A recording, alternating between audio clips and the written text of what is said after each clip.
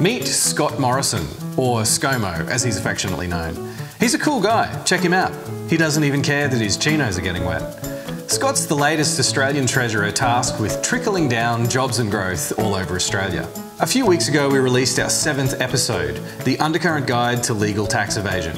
By the way, thanks to everyone who's shared the video, especially those who've used creative descriptions like Man with strange badger beard explains tax dodging, or my personal favourite, I have no idea what this video is about because it's muted, but from the look of the beard, I imagine two of us from each state must volunteer as tribute.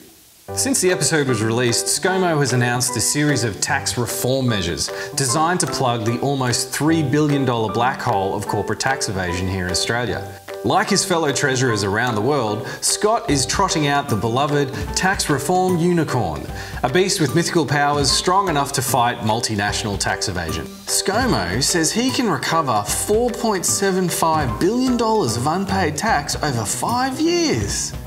Yet we know from our most recent episode that even a conservative estimate of the tax avoidance by just the top 76 Australian companies amounts to $13.4 billion over five years. So Scott's plan, at best, will be 35% successful. And his plan to achieve that resounding success? By a new operational task force of more than 1,000 specialist staff in the ATO to police and prosecute companies, multinationals, and high wealth individuals not paying the tax that they should. But like a horse with a horn strapped to its head, only part of this unicorn is real. Of the 1,000 member task force, only 390 will actually be new positions at the Australian Tax Office. The remainder will just be existing staff who are already struggling to cover the workloads of 3,000 staff that have been cut since 2013.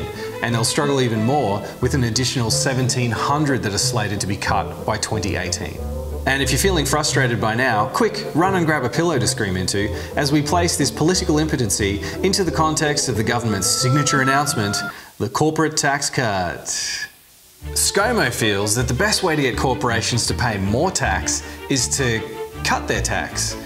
Over the next 10 years, he plans to lower the corporate tax rate for all businesses to 25%.